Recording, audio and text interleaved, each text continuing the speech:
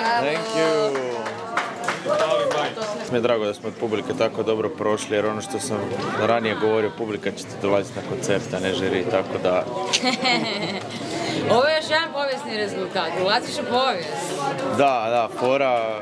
E, iznenađen sam koliko sam sretan. Mislim da ću biti tužniji, kao izgubili smo, ali nisam uopće tužan, sretan sam. Ne, mi nismo izgubili, mi smo drugi. Da, Bravo. da, da, hvala, da, da imaš pravo. Kakav je bio osjećaj na sceni? Ne znam, a, jesi vidio već u međuvremenu, mi smo to prvi put vidjeli, publika dobila narukvice, kad je bio ples, cijela a, arena je ono, treperila sa plesom, znači apsolutno prizrazana ježice.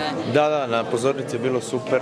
Ovaj, e, I baš mi je drago, složili smo se u timu, to je najbolje što smo mogli. Znači, bolje od ovoga nije. Svi smo napravili sve u trenutku šta smo trebali, nismo ništa fulali, sve je bilo točno kako je trebalo biti.